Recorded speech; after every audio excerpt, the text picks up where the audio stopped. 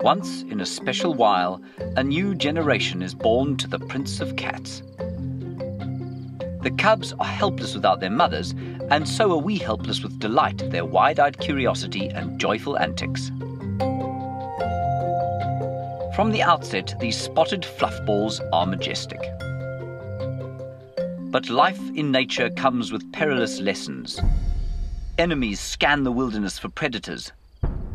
They'll take revenge at the slightest opportunity.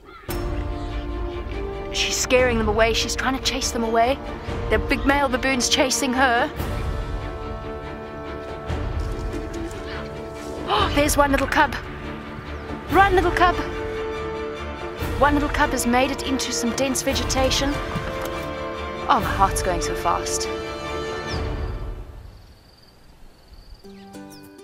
Some lessons are less terrifying, however.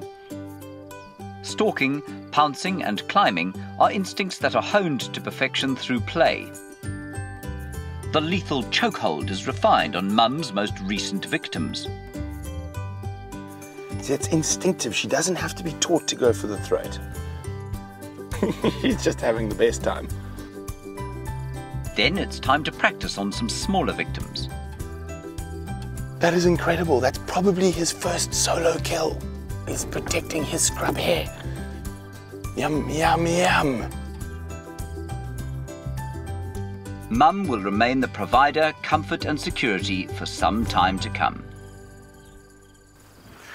If you enjoy that little taste of Africa, click subscribe here on top of this baboon's skull, and you can see more of the highlights from our daily African safaris. Then, on the right here, if you click the little bell, you'll be notified every time we go live at dawn and dusk.